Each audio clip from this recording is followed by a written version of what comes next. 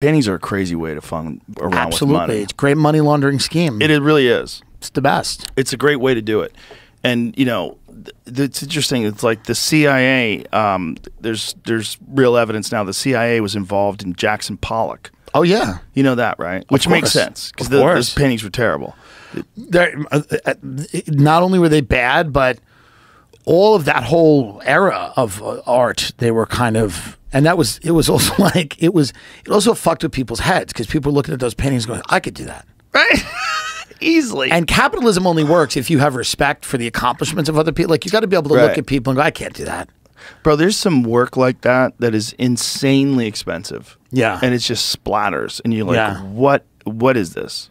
Well, it's a great way to get over on the rich. People think rich people always get over. It's not true. Rich people get beat all the time by other rich people. Oh yeah. because they all agree that there are certain kinds of bullshit that they tolerate. And one of them is like they buy this crap art that is like this modern art that, uh, you know, one was a blank canvas once that sold for 200 grand, like all Look this at it, stuff. like How, that. how much do you think that went for? Um five million dollars.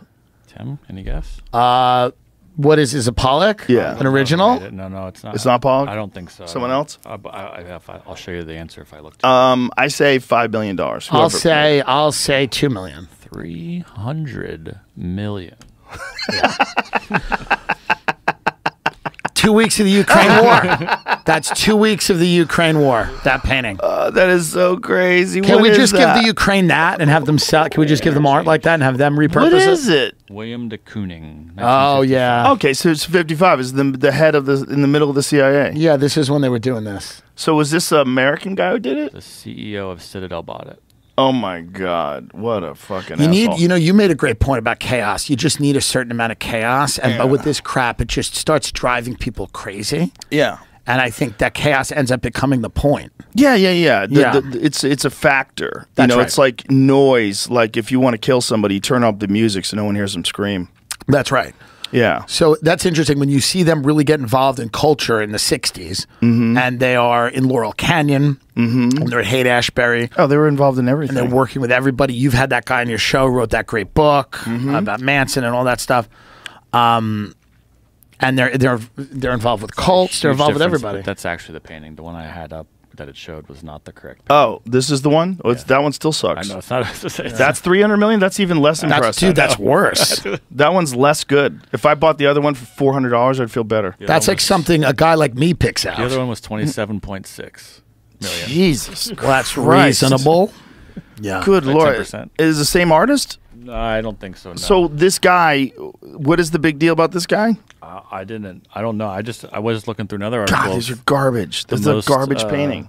The top fifteen from 2020, and like I was like, the very first one it shows was the one I just showed you. Oh, but that's number 15. Right. Yeah. And that's 27 million. Yeah. So this is the most expensive works of art. Oh, look at this one. How much is that piece of shit? Bro, that's something my daughter would have done when she was four. 28.7. 28 point. Yeah. What? It's fake. What? Yeah. So this is money laundering. This is money laundering. Well, then there's Picasso. The Picasso's actually kind of cool, though. Look at that one. Picasso Let me see the one. Picasso one. Oh. Look at this one. that's different. The. Picasso one's kind of cool. but it's destroying the difference. Like it's uh, by by elevating a lot of the other stuff. They're also muddying the waters. Look at with this one that. that's all blue. yeah, except that one line. There's the line down the middle. How much is that one? 30. That's the 30, thin blue line. $30 million. This one's a black, Rothko, yeah. red with a black square at the bottom. $21 million. 31. This is insane. Oh, that's, a dinosaur, that's an though. actual skeleton. Yeah, for Yeah, that's pretty. That's pretty dope. Well, that's fun. That's pretty dope. That belongs in a Miami penthouse, first floor. I looked at a house in Yeah. Beverly Hills when I was Yeah. thinking about living in Beverly Hills. And Yeah. it had a dinosaur in it. See, that's you could cool. buy the dinosaur for The- like an extra million. the Persians are fun yes. because they own those places. I have a dinosaur. there's one guy. don't have a dinosaur? There's one guy there that has white tigers in the backyard.